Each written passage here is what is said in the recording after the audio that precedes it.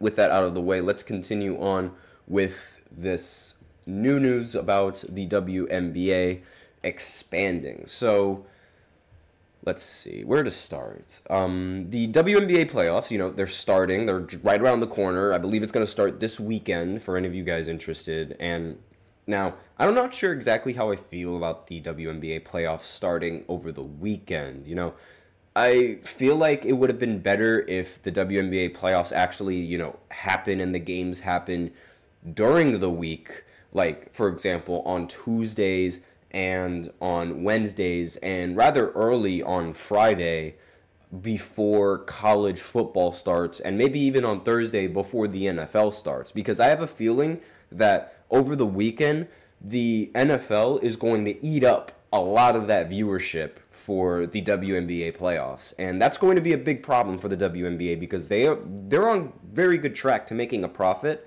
for this year. First time that's probably ever going to happen, but they really like this the best part of their game, the postseason. Like the best part of any sports uh, season is the postseason, and if you are having those games in the middle of the NFL then you're just you can't compete against that market in the United States. This was a problem when the NBA, you know, did the bubble. Like during the finals, the NBA finals, people were watching the return of the NFL more than they were watching the NBA finals. It was the least viewed finals in the history of the NBA for a reason because the NFL was going on at exactly the same time. They were the NBA was pulling 6 million viewers. Meanwhile, the NFL, the opening night game of NFL, was pulling in 22 million viewers. You cannot compete with the NFL. So I personally think that the the playoffs they should happen like, you know, in the during the week when NFL games and college football games aren't going on.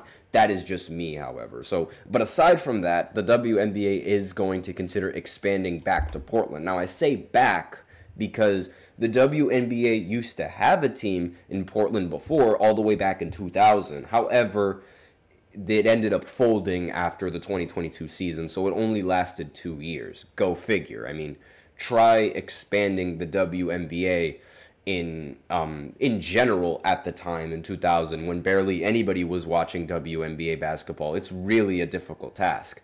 Not to mention the fact that Portland as a as a whole and, you know, the Portland fans, there aren't really that many. Like, I'm sorry to say, but Portland rarely gets any sort of media attention coming in from, like, not only, like, the Blazers from the NBA, but, like, in any sport in general. Like, the Portland Trailblazers barely get talked about. They didn't, they never got talked about last season, especially when since Damian Lillard has left, the Portland Trailblazers haven't had any kind of traction in terms of viewership and like actual media attention.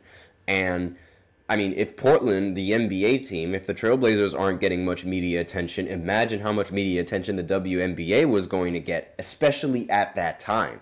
Like pre Caitlin Clark, the WNBA was nowhere near and it never made a profit, never was competing for any kind of money, never, it was never popular, never popular and but now that it's becoming popular now they can actually legitimately have an expanded franchise all the way over in portland now this is going to be the 15th franchise for the WNBA, and it is going to begin play in the 2026 NBA, uh, WNBA season. Excuse me.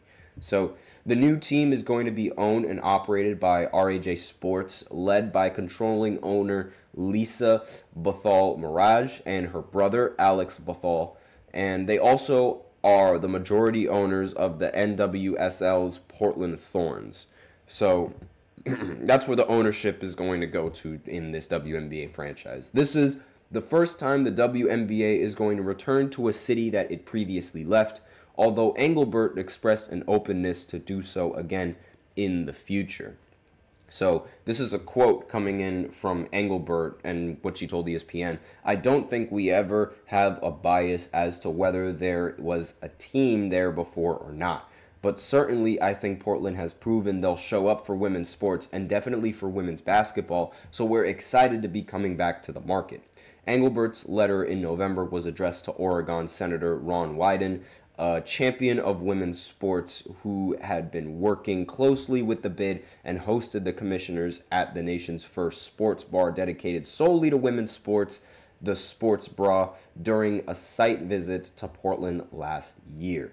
And the article continues going on uh, with some quotes coming in from the Golden State Valkyries as, quote, 72 hours of really bitter disappointment, at least this is what it's saying quote, after 72 hours, we said, back on our feet, we're going to get this done, Wyden told ESPN. Another quote, it really was a constant building and a process from then. I am particularly appreciative of Cathy because she's got me calling her saying, what's next? We sh- what should we do? What's the path? We don't want to give up. And really, I think, you know, the, one of the big problems with expansion teams is just being able to acquire women to actually play for the team. And that's going to be a big question that's going to be brought up. Exactly where are they going to be placed in the draft? And they're they're set to make the franchise, you know, in 2026. That's when they're going to be playing. And personally, I think this is going to be like the biggest hunch ever, but Juju from USC that female coll- collegiate player that's just absolutely phenomenal that people are saying could be better than Caitlin, I think she's going to get drafted to Portland. I can totally see her as the new face of the um, the Portland franchise and bringing the attention over to Portland and getting the franchise off on the right foot. Like if there's anybody that is should be on that Portland team, it should be Juju in the future. And it is lined up perfectly because the franchise is going to be coming in 2026, so in 2 years from now, Juju still has way more years under her collegiate belt. And she was only a freshman last season, so she's going to be a sophomore this coming season. Then she'll be a junior, and by the time she's a junior, she'll either be in her senior year, playing in her senior year, or she'll get drafted by the by Portland. I'm praying and I'm hoping that Juju gets drafted to Portland because that would be amazing for the franchise that's literally just on the come up. Everybody's going to want to watch Juju. Like, she could be the next face. Like, she could be the next great Caitlin Clark. She could be it. And I, I have I have huge faith in Juju. So I really, really hope that if there's anybody that's going to be on that team, it is her, and that the Port and that Portland immediately drafts her and immediately picks her up before some other team does. And like I don't know, let me know in the comments if you would rather see somebody else from uh, college bas- women's college basketball join Portland and their new franchise because I think like I think she will be phenomenal. Like it would be it would be her squad. She will be the the face of the team. She already has one of the best handles that I've seen coming in from a female athlete in college, like right next to Caitlin Clark. Again, like their handle of the ball, what they are able to do with the ball is amazing. Like they've really come a long way with the WNBA, and I really, really pray and I hope that Juju ends up being the face of Portland. That would be so. That would be so awesome. Like it would literally be like the female version of Damian Lillard. It could be the female version of Damian Lillard over there in Portland, and that would be a sight to see. Let me know in the comments what you guys think of that. But we're out of time for the second segment, so now we're going to shift our focus back over to the NBA because CBS just recently released a list of their top 10 players in the NBA right now.